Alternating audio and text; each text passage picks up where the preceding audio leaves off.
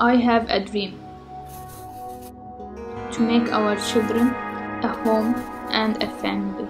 Love them, talk and play with them.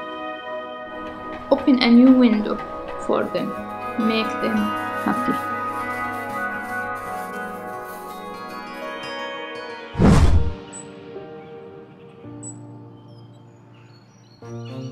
Bizim en önemli görevimiz sizin çocuklarınızın zararsız, ağrısız eğlendirmek ve öğretmektir. Unique sadece bir okul değil. Dolu dolu mutluluk ve sevgiyle dolu bir öğrenme ortamı.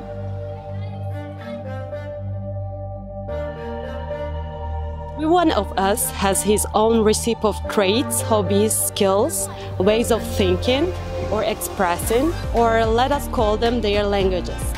Every one of us has a unique destination where he will and should excel and innovate.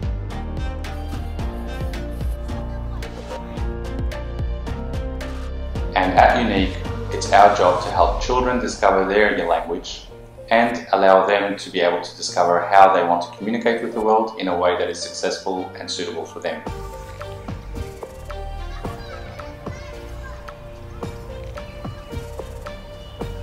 Pure souls need to be embodied by nature. When your son comes back home, all soaked up and wet all over, just smile and give him a big hug. In order to learn, children need to make mistakes. Çocukların gözyaşları mücevherdir. Eğer çocuğunuz ağlayarak eve gelirse panik yapmayın. Onu dikkatlice dinleyin. Empati gösterin ve okuldaki arkadaşlarına güvenmesini söyleyin. Ertesi gün bizimle bir randevu ayarlayın ve herhangi bir sorun varsa birlikte çözelim.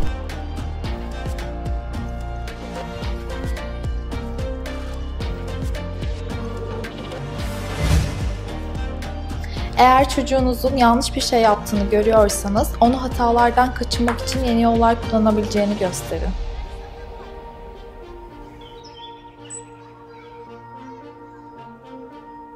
We believe that the education process is a continuous process that doesn't just stop when children leave class, but continues with them on their way home, when they're playing, when they're studying, when they're sleeping, even in their rooms. So We planned and designed our school to be the best place for creativity for each child in the group. Non possiamo dire che non facciamo gli errori, però vi ascoltiamo bene e noi ci impariamo delle- dei nostri errori.